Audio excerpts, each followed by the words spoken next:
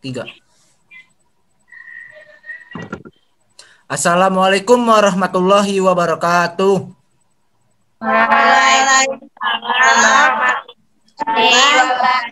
wabarakatuh. Gimana kabarnya anak-anak? Sehat semua?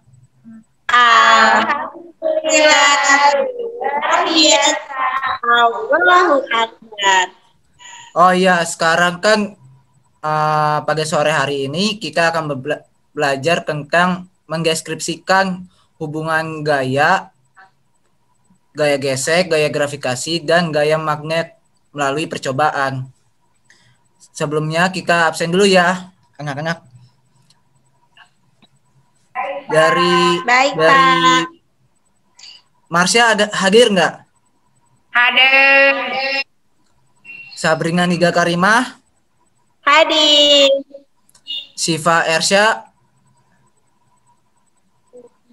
Gak hadir Pak, cuma sakit. oh sakit. Kita doakan ya, semoga dia sembuh. Amin. Amin. Terus selanjutnya Sevi Ersya Agustin. Hadir. Ah, baik, kita akan memulai pembelajaran hari ini dengan lafaz Bismillah. Bismillahirrahmanirrahim. Selanjutnya Bapak akan memaparkan video video materi tentang gaya gesek.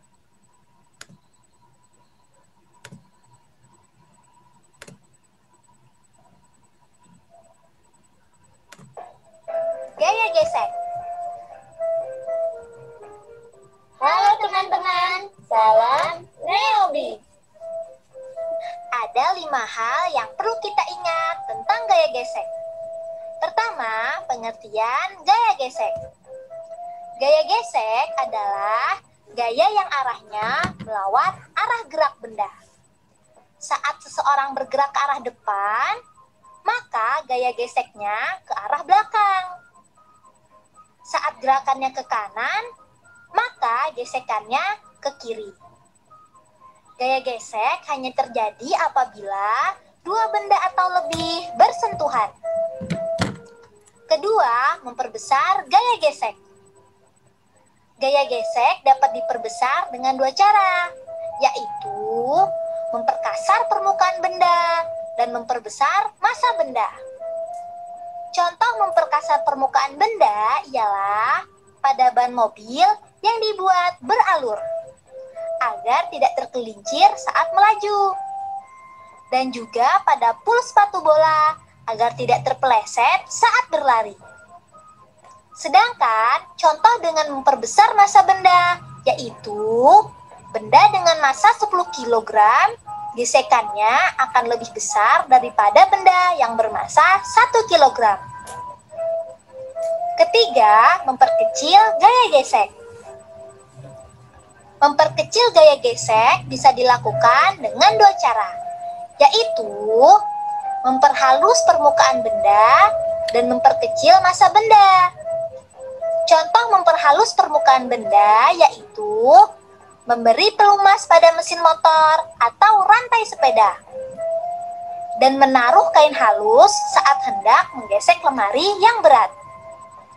Sedangkan contoh memperkecil massa benda yaitu berjalan sendirian akan lebih ringan daripada berjalan menggendong adik. Keempat, kerugian gaya gesek. Gaya gesek dapat menyebabkan kerugian loh. Di antaranya, menghambat gerakan seperti saat naik motor melewati jalan makadam dan menyebabkan rantai sepeda menjadi aus. Kelima, manfaat gaya gesek. Gaya gesek selain merugikan juga dapat bermanfaat loh. Manfaatnya antara lain membuat benda mudah bergerak tanpa tergelincir seperti pada sepatu bola dan menghentikan gerakan seperti pada pengereman sepeda. Keenam, penemu gaya gesek. Gaya gesek ditemukan oleh dua orang ilmuwan, yaitu Sir Isaac Newton menemukan gaya gesek pada benda padat dan Sir George Stokes menemukan gaya gesek pada fluida. Nah, itu tadi beberapa hal yang perlu kita ingat. Ingat-ingat ya. Be smart, be happy.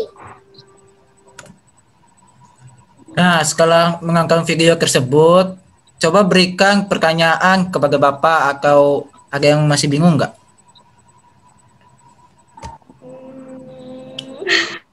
Ya, Pak. Ada Oke, kita lanjut ya ke materi selanjutnya. Oke. Ter- Gaya Bentar.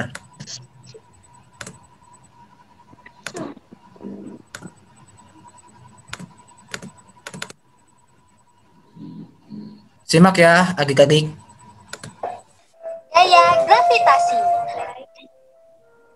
Halo teman-teman, salam lima hal yang perlu kita ingat tentang gaya gravitasi. Pertama, pengertian gaya gravitasi. Gaya gravitasi adalah gaya tarik-menarik pada benda bermassa yang ada di alam. Contohnya adalah gaya gravitasi bumi. Gaya ini menyebabkan setiap benda yang dilempar pasti akan jatuh. Contohnya saat kamu melempar batu, batu akan jatuh ke bawah. Kedua, penentu besar kecilnya gaya gravitasi. Besar kecilnya gaya gravitasi ditentukan oleh dua hal, yaitu massa-massa yang berinteraksi dan jarak kedua pusat massa. Semakin besar massa-massa yang berinteraksi, semakin besar pula gaya gravitasinya. Namun, semakin besar jarak kedua pusat massanya, maka gaya gravitasinya akan semakin kecil. Ketiga, manfaat gaya gravitasi. Gaya gravitasi ini manfaatnya sangat besar, antara lain membuat manusia dan benda-benda tetap berada di permukaan bumi. Membuat planet-planet seimbang di tempatnya masing-masing. Bayangkan kalau tidak ada gaya gravitasi, apakah kamu masih bisa hidup? Tentu sulit sekali, karena makanan yang kita makan pun akan berterbangan ke mana-mana. Tuhan baik sekali ya menciptakan gravitasi untuk kehidupan kita. Keempat, penemu gaya gravitasi. Gaya gravitasi ditemukan oleh Sir Isaac Newton. Hidup antara tahun 1642 hingga 1727 Masehi yang terkenal dengan sebutan Newton. Newton adalah ilmuwan asal Inggris. Selain ilmuwan fisika, ia juga seorang ahli matematika, astronomi, kimia, dan filsafat. Untuk menghormatinya, namanya dijadikan satuan gaya, yaitu Newton dilambangkan dengan huruf N. Kelima, sejarah penemuan gaya gravitasi. Wah, bagaimana ya sejarahnya? Yuk kita simak penjelasan berikut. Saat Newton berusia sekitar 17 tahun, ia duduk sambil belajar di bawah pohon apel. Di tengah asyiknya membaca, tiba-tiba sebuah apel jatuh dan mengenai tepat di kepalanya. Newton kaget. Ia berpikir mengapa buah apel bisa jatuh. Berbekal pertanyaan sesederhana tersebut, ia melakukan penelitian hingga akhirnya menemukan rumus gravitasi. Nah, itu tadi beberapa hal yang perlu kita ingat. Ingat-ingat ya. Be smart, be happy. Nah, Kak Gika ng- udah pada ngerti ya? Gimana sih? Ada yang bisa sempulin nggak gaya gravitasi itu kayak gimana? Ada yang bisa cangkain nggak gaya gravitasi itu kayak gimana? Contohnya apa ya? Nggak tahu Pak. Nah, contohnya itu kayak gunting. Gunting dilempar kan jatuh ke bawah lagi. Aduh. Hampir. Hampir jatuh. Nah, ya udah kita apa sih? selanjut eh, materi selanjutnya. Baik. Masih ada lagi, Pak. Iya masih gaya magnet. Sekali lagi. nanya. Iya apa? Apakah gaya gravitasi cuma ada di bumi? Gaya grafikasi juga ada di luar angkasa juga. Seperti batu meteor. Begitu. Jadi di luar angkasa ada gaya gravitasi. Ada. Gitu. Oke, Pak. Bisa.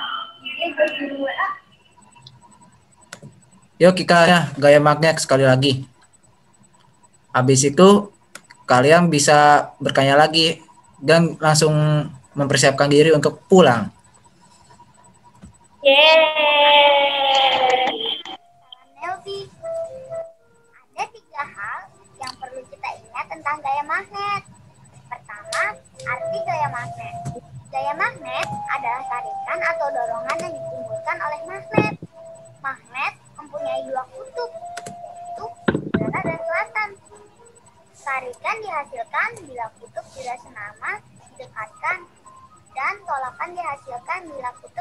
didekatkan.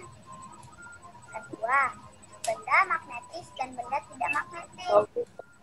Benda magnetis artinya benda-benda yang dapat ditarik oleh magnet. Contohnya lampu, besi, dan peniti. Benda tak magnetis artinya benda-benda yang tak dapat ditarik oleh magnet. Contohnya karet, kertas, dan kayu. Ketiga, membuat magnet. Membuat magnet cara menggosok-gosok, cara induksi, dan cara mengalirkan arus listrik. Membuat magnet dengan cara menggosok, gosokannya harus searah, tidak bolak-balik. Kalau gosokannya searah besi, akan menjadi magnet yang baik. Membuat magnet dengan cara induksi. Caranya dengan mendekatkan logam yang akan dijadikan magnet kepada magnet selama beberapa waktu. Setelah itu, besi harus pada paku-paku kecil. Bila paku-paku sudah menempel pada besi, berarti besi sudah menjadi magnet. Membuat magnet dengan cara mengaliri arus listrik. Caranya dengan melilitkan kumparan pada besi yang akan dijadikan magnet. Selanjutnya, ujung-ujung kumparan dihubungkan dengan baterai. Setelah beberapa saat, besi akan mampu menarik paku-paku kecil. Nah, itu tadi beberapa hal yang perlu kita ingat.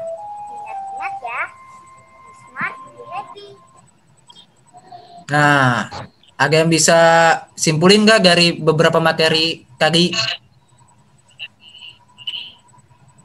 Magnet memiliki dua sumbu. Utara dan utara dan Ya terus. maka utara dan selatan disatukan dia akan menempel. Tetapi ketika sumbunya sama, dia akan saling menolak. Hore, beri beri tepuk tangan buat Marsha. Yeay. Ah, sekian aja ya pertemuan hari ini. Ah, kita tutup dengan bacaan doa yang dipimpin oleh Sabrina Nida. Oke. Mari kita berdoa setelah selesai pembelajaran. Berdoa dimulai.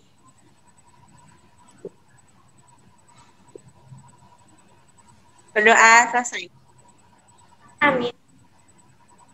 Ucapkan salam. Assalamualaikum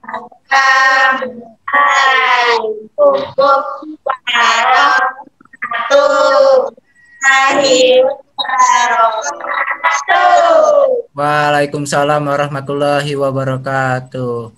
Dadah Bapak. Dadah Bapak kita. Sampai jumpa. Dadah Bapak Guru.